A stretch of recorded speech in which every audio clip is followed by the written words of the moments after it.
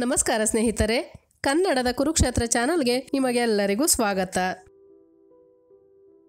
ಸ್ನೇಹಿತರೆ, ಚಿಟ್ಟೆಗಳು ನೋಡುವುದಕ್ಕೆ ಎಷ್ಟು ಸುಂದರ ಹಾಗೂ ಮನಮೋಹಕವಲ್ಲವೇ?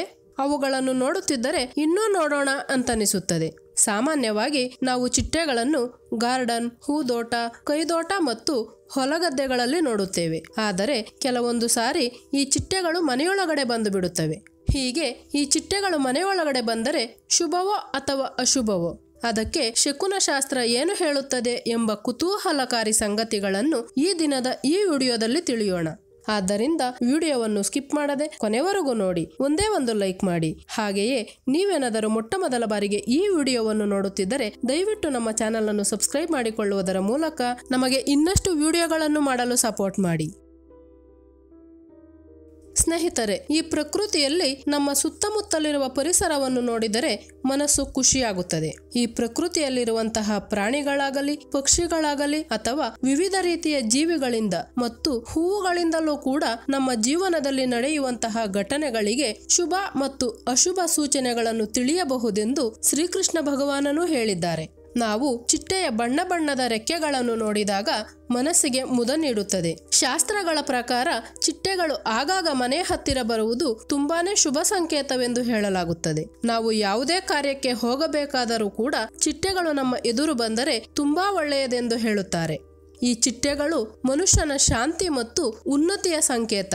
ಆದ್ದರಿಂದ ಅವುಗಳನ್ನು ಪ್ರತಿದಿನವೂ ನೋಡುವುದರಿಂದ ಅವುಗಳ ಬಣ್ಣಗಳು ನಮ್ಮ ಜಾತಕದ ಮೇಲೆ ಅನುಕೂಲಕರ ಪ್ರಭಾವ ಬೀರಿ ನಮ್ಮ ಏಳಿಗೆಗೆ ಕಾರಣವಾಗುತ್ತವೆ. ಆದ್ದರಿಂದ ನಿಮಗೂ ಸಹ ಈ ಚಿಟ್ಟೆಗಳು ಪದೇ ಪದೇ ಕಾಣಿಸುತ್ತಿದ್ದರೆ ನಿಮಗೆ ಶೀಘ್ರದಲ್ಲಿ ಒಳ್ಳೆಯ ಶುಭ ಸುದ್ದಿಗಳು ಬರುವ ಸಂಕೇತವೆಂದು ತಿಳಿಯಬಹುದು. ಈ ಚಿಟ್ಟೆಗಳು ಜೋಡಿಯಾಗಿ ಕಂಡರೆ ಮತ್ತು ಮನೆಯೊಳಗಡೆ ಬಂದರೆ ಅತಿ ಶೀಘ್ರದಲ್ಲಿ ನಿಮ್ಮ ಮನೆಯಲ್ಲಿ ಶುಭ ಕಾರ್ಯ ನೆರವೇರುತ್ತದೆಂದು ಹೇಳುತ್ತದೆ ಶಕುನಶಾಸ್ತ್ರ.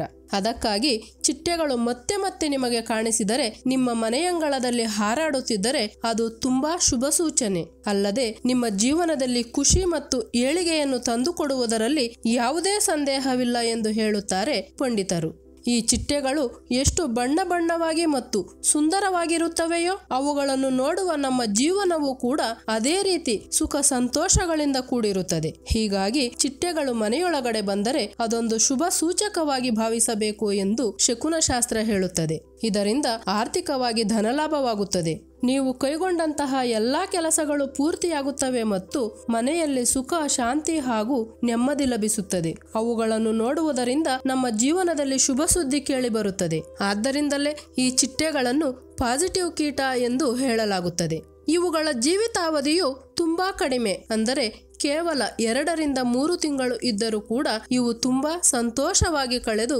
ಮನುಷ್ಯರಿಗೆ ಯಾವುದೇ ರೀತಿಯ ತೊಂದರೆ ಕೊಡುವುದಿಲ್ಲ. ಅಲ್ಲದೆ ಇವು ಎಲ್ಲರ ಜೀವನದಲ್ಲೂ ತನ್ನ ಹಾಗೆ ಬಣ್ಣ ಬಣ್ಣವನ್ನು ತುಂಬಿ ಅವರ ಜೀವನವನ್ನು ಸುಖಮಯವಾಗಿಸುತ್ತವೆ. ಈ ಚಿಟ್ಟೆಗಳು ಮಾಡುವ ಮತ್ತೊಂದು ವಿಶೇಷ ಸಹಾಯವೆಂದರೆ ಪ್ರಕೃತಿಯಲ್ಲೇ ಹುಟ್ಟಿ ಬೆಳೆಯುವ ಈ ಚಿಟ್ಟೆಗಳು ತಮ್ಮ ಹಾರಾಟದಿಂದ ಒಂದು ಹೂವಿನಿಂದ ಮತ್ತೊಂದು ಹೂವಿಗೆ ಪರಾಗಸ್ಪರ್ಶ ಮಾಡಿಸಿ ಹೂವುಗಳಿಗೂ ಕೂಡ ಸಹಾಯ ಮಾಡುತ್ತವೆ. ಆದ್ದರಿಂದ ಈ ಚಿಟ್ಟೆಗಳಿಂದ ನಾವು ಬಹಳಷ್ಟು ಕಲಿಯಬಹುದು. ಇವು ತಮ್ಮ ಜೀವನದ ಪ್ರತಿ ಕ್ಷಣವನ್ನು ಆನಂದಿಸುತ್ತವೆ. ಯಾವತ್ತಿಗೂ ಸಹ ಸೋಮಾರಿತನ ಬೀಳುವುದಿಲ್ಲ. ಮನುಷ್ಯರಾದ ನಾವು ಜೀವನದಲ್ಲಿ ಏನನ್ನಾದರೂ ಸಾಧನೆ ಮಾಡಬೇಕು ಎಂದುಕೊಂಡಿದ್ದರೆ ಹತಾಶರಾಗಬಾರದು. ಚಿಟ್ಟೆಗಳ ರೀತಿ ಪ್ರತಿ ಕ್ಷಣವನ್ನು ಆನಂದಿಸಬೇಕು. ಆಗ ಮುನ್ನುಗ್ಗುವ ಆತ್ಮಸ್ಥೈರ್ಯ ಬೆಳೆಯುತ್ತದೆಂದು ಚಿಟ್ಟೆಗಳಿಂದ ನಮಗೆ ತಿಳಿದು ಬರುತ್ತದೆ. ಹಾಗಾಗಿ ನೀವು ಯಾವುದಾದರೂ ಕೆಲಸಕ್ಕೆ ಹೊರಗಡೆ ಹೋಗಬೇಕಾದರೆ ಅಥವಾ ನಿಮ್ಮ ಮನೆಯಲ್ಲಿ ಶುಭ ಕಾರ್ಯಗಳಾಗಬೇಕಾದರೆ ಈ ಚಿಟ್ಟೆಗಳ ದರ್ಶನವಾದರೆ ಅಥವಾ ಚಿಟ್ಟೆಗಳು ನಿಮ್ಮ ಮನೆಯೊಳಗಡೆ ಬಂದರೆ ಎಲ್ಲವೂ ಸುಗಮವಾಗಿ ನಡೆಯುತ್ತದೆ. ಅಲ್ಲದೆ ಆ ಸಮಯದಲ್ಲಿ ನೀವು ಲಕ್ಷ್ಮೀ ದೇವಿಯನ್ನು ಸ್ಮರಿಸಿದರೆ ತಾಯಿ ಲಕ್ಷ್ಮೀ ದೇವಿಯು ಕರುಣಿಸುತ್ತಾಳೆ. ಸ್ನೇಹಿತರೆ, ನಿಮಗೂ ಸಹ ಯಾವುದಾದರೂ ಸಂದರ್ಭಗಳಲ್ಲಿ ಚಿಟ್ಟೆಗಳು ಕಾಣಿಸಿ ನಿಮ್ಮ ಕೆಲಸಗಳು ಸುಗಮವಾದ ಅಥವಾ ಲಾಭವಾದ ಉದಾಹರಣೆಗಳು ನಿಮ್ಮ ಜೀವನದಲ್ಲಿ ಮರುಕಳಿಸಿದೆಯಾ? ಕಮೆಂಟ್ ಮಾಡಿ ತಿಳಿಸಿ. ನಿಮ್ಮ ಜೀವನವು ಕೂಡ ಚಿಟ್ಟೆಗಳ ಜೀವನದ ಹಾಗೆ ಬಣ್ಣ ಬಣ್ಣವಾಗಿ ಖುಷಿಯಾಗಿರಲಿ ಎಂದು ಹೇಳುತ್ತಾ? ಸ್ನೇಹಿತರೆ, ನಿಮ್ಮಲ್ಲೊಂದು ಚಿಕ್ಕ ಮನವಿ ಇದೆ ಅದೇನೆಂದರೆ, ನಮ್ಮ ಚಾನಲ್ನಲ್ಲಿ ಚಾರಿತ್ರಿಕ ಐತಿಹಾಸಿಕ ಮತ್ತು ಸಾಂಸ್ಕೃತಿಕವಾಗಿ ಶ್ರೀಮಂತವಾಗಿರುವಂತಹ ಸ್ಥಳಗಳ ಬಗ್ಗೆ ಪರಿಚಯ ಮಾಡಿಕೊಡಲಿದ್ದೇವೆ. ಹಾಗಾಗಿ ನಿಮ್ಮೂರಿನ ಅಥವಾ ನಿಮ್ಮ ಸುತ್ತಮುತ್ತ ಯಾವುದಾದರೂ ಉತ್ತಮ ಸ್ಥಳ ವಿಶೇಷಗಳು ಹಾಗೂ ಸಮಾಜಮುಖಿ ಸಾಧಕರು ಮತ್ತು ವಿಶೇಷ ಪ್ರತಿಭೆಗಳು ಇದ್ದಲ್ಲಿ ದಯವಿಟ್ಟು ಸ್ಕ್ರೀನ್ ಮೇಲೆ ಕಾಣಿಸುವ ನಂಬರ್ಗೆ ವಾಟ್ಸಪ್ ಮಾಡಿ ತಿಳಿಸಿ. ಜೊತೆಗೆ ನೀವು ಸಹ ನಿಮ್ಮ ಕಡೆಯ ವಿಶೇಷತೆಗಳನ್ನು ಉತ್ತಮ ಗುಣಮಟ್ಟದ ವಿಡಿಯೋ ಮಾಡಿ ಕಳಿಸಿದ್ದಲ್ಲಿ ನಮ್ಮ ಚಾನಲ್ನಲ್ಲಿ ಪ್ರಸಾರ ಮಾಡಲಾಗುವುದು.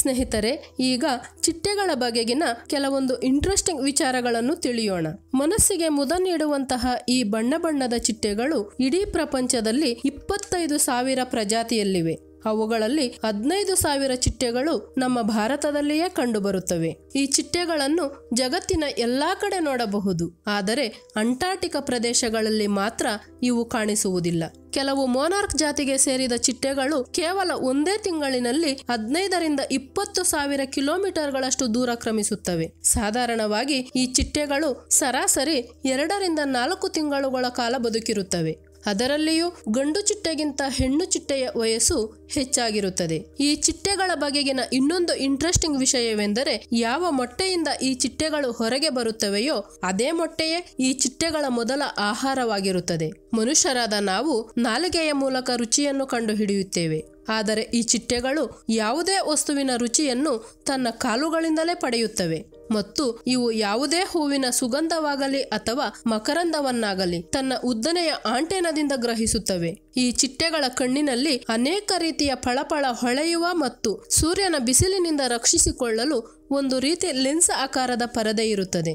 ಮೊದಮೊದಲು ಚಿಟ್ಟೆಗಳಿಗೆ ಕಿವಿ ಇಲ್ಲ ಎಂದು ಹೇಳಲಾಗುತ್ತಿತ್ತು. ಆದರೆ ನಂತರದ ದಿನಗಳಲ್ಲಿ, ಅಂದರೆ ಸಾವಿರದ ಒಂಬೈನೂರ ಹನ್ನೆರಡರಲ್ಲಿ ಒಂದು ಸಂಶೋಧನೆಯಿಂದ ಚಿಟ್ಟೆಗಳಿಗೆ ಕಿವಿಗಳಿವೆ ಮತ್ತು ಅವು ಆ ಕಿವಿಗಳಿಂದಲೇ ಅದರ ಸುತ್ತಲಿನ ಶಬ್ದಗಳನ್ನು ಕೇಳಿಸಿಕೊಳ್ಳುತ್ತವೆ ಎಂದು ವಿಜ್ಞಾನಿಗಳು ಕಂಡುಹಿಡಿದಿದ್ದಾರೆ. ಈ ಚಿಟ್ಟೆಗಳಲ್ಲಿ ಕೊಳವೆ ತರಹದ ನಾಲಿಗೆಯೂ ಇರುತ್ತದೆ. ಅದರಿಂದಲೇ ಅದು ಹೂವಿನ ಮಕರಂದವನ್ನು ಹೀರಿಕೊಳ್ಳುತ್ತದೆ.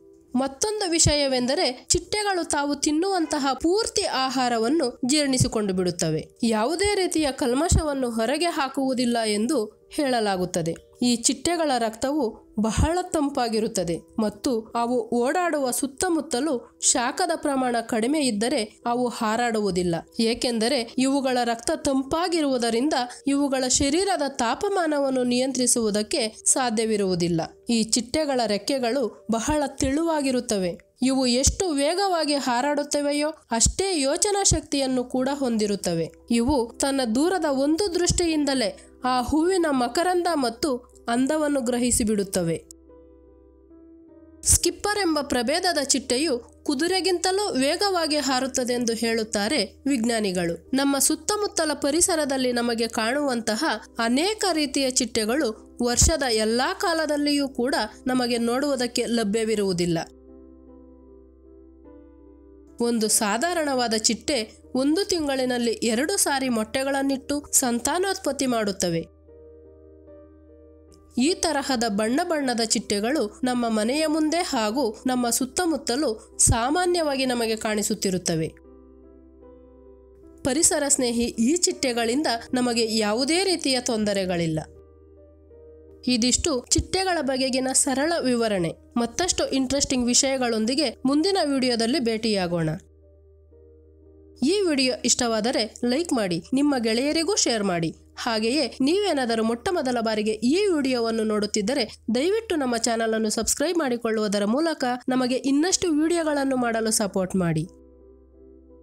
ಧನ್ಯವಾದಗಳು.